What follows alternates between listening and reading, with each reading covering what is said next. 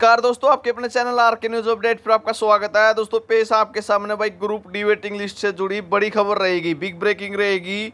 हरियाणा कर्मचारी चयन आयोग ग्रुप डी खेल कोटे के रिक्त पदों की सूची जारी करेगा भाई। और ग्रुप डी के अन्य किसी कैटेगरी के रिक्त पदों की सूची जारी नहीं की जाएगी भाई। पीडब्ल्यूडी और एक्स सर्विस मैन के लिए भाई बड़ा झटका रहेगा। तो यहाँ पे देख सकते हैं आप भोपाल सिंह खत्री जी ने क्या क्या पूरी खबर की तरफ़ रुक करेंगे। चैनल पर आप नए तो चैनल को सब्सक्राइब ज़रूर कर लें।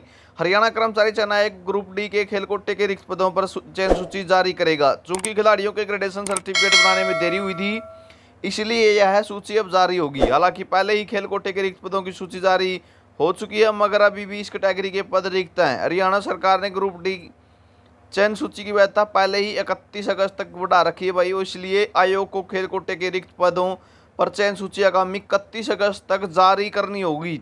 मतलब ये लिस्ट जो है खेल कोटि की इकतीस अगस्त तक आ जाएगी। खेल निदेशालय ने पिछले महीने ग्रेडेशन सर्टिफिकेट की अपडेट सूची मुख्य सचिवालय मुख्य सचिव कार्यालय को भेज दी थी। मानव संसाधन विभाग की सचिव आसिमा बराड़ ने आयोग के सचिव विराट के साथ पहले, पिछले सप्ताह ग्रुप डी के रिक्त पदों पर सूची जारी करने के लिए संबंध में बैठक भी की थी। तो आयोग के अध्यक्ष भोपाल सिंह खत्री ने बताया है कि ग्रुप डी के खेल कोटे के जितने रिक्त पदों की जानकारी आयोग के पास पहुँची है, उसके अनुसार वेटिंग सूची से उम्मीदवारों के ग्रेडेशन सर्टिफिकेट की जाँच के बाद सूची जारी कर दी जाएगी।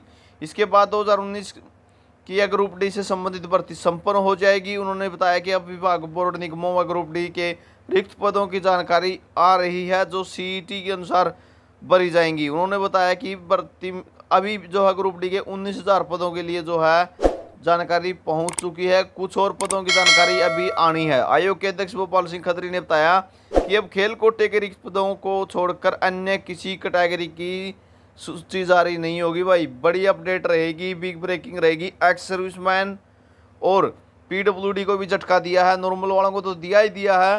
एक्स सर्विसमैन और पीडब्ल्यूडी वालों का भी दिया है। हालाँकि पीडब्ल्यूडी वालों का एक परसेंट कोटा साफ़ साफ़ स्पष्ट बचता है एडवर्टाइजमेंट के आधार पर भी। और एक्स सर्विस मैन की भी 200 सीटें खाली पड़ी हुई हैं। उनको भी झटका दिया है। तो ये बड़ी अपडेट रहेगी। जानकारी आपको मिल गई होगी। शेयर ज़रूर कर दें। चैनल को सब्सक्राइब कर लें। इसी के साथ थैंक यू दोस्तों।